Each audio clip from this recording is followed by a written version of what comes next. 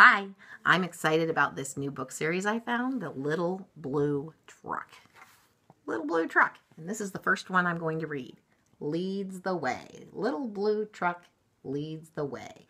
Written by Alice Schertle, illustrated by Jill McElmurry. And there's the little blue truck. So I saw this when I visited Vincent with my daughter Maggie. And I saw these little blue truck books and I read a few and I was like, that's a good one. So when I saw this at the library, I thought I'd get it to read to you. Here's the little blue truck getting loaded up. And here is the little blue truck getting some gas because he has somewhere to go. So he needs gas to keep him going. Horn went beep. Engine purred. Friendliest sounds you've ever heard going into the city. Look who's crossing. I think the little blue truck's going to wait until those skunks get past because otherwise if he scares them, we don't want that. Little blue truck rolled into the city. Beep, beep, beep. Isn't it pretty? There he is. Towering buildings scraped the sky. Beep, said Blue. The city is high. Zoom, roared trucks down the avenue.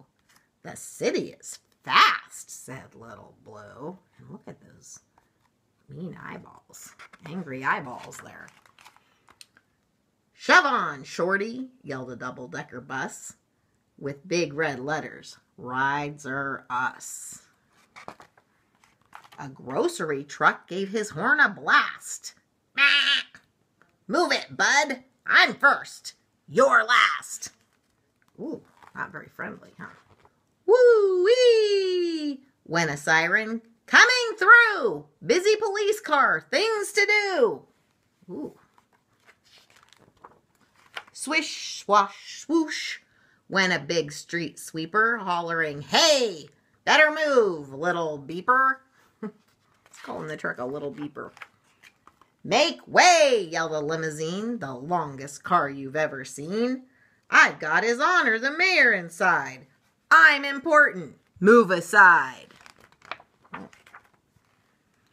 Cars and trucks were all in a tangle. Everyone started to shout and wrangle. Up roared a taxi. Screech went the brakes. Stop, yelled Blue. For goodness sakes. You might be fast and I might be slow, but one at a time is the way to go. I think he's pretty smart. Me first, said the limo, all puffed with pride. Then he gave a cough and his engine died. He was stuck right there with the mayor inside. Beep, said Blue. Would you like a ride? Oh, look, there's the mayor.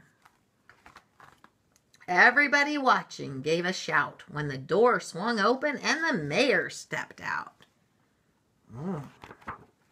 His honor climbed right up on Blue and gave a speech the way mayors do. My friends, he said, what wonderful luck. This good advice from a little blue truck. One at a time is what we'll do. So single file, folks. Follow blue. Trucks and buses got in line with vans and taxis, and it all went fine. A taxi let a van go past. The double-decker bus said, all go last. He learned his lesson, didn't he? That's good. It's good to learn a lesson whenever somebody teaches you. A marching band joined the big parade. Boom went the drums, and the trumpets played. Wow, they're having a fun time now. They rolled along the avenue and everyone waved at little Blue. says Blue is cool. See, there goes the mayor. He's in the front of the line. They clapped their hands and yelled hooray for the little blue truck who led the way. There he is. He's in the lead now. He got them all to cooperate. He and the mayor worked together, didn't they?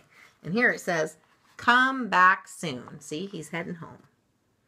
I wonder if when he comes back, goes back to the city, if he ever does, if they'll still be cooperating. Do you think so? Do you cooperate whenever you're trying to get somewhere? I know at school a lot of times we have to follow in a line, don't we? And we don't always have to be first, do we? Sometimes we can have a good attitude like the, the double-decker bus ended up having a good attitude, huh? Decided that he'd be last because they're all going to get there, aren't they? Okay, well, anyhow, I hope you enjoyed The Little Blue Truck. I'll probably be reading some more of his stories because I like The Little Blue Truck. Talk to you later. Bye.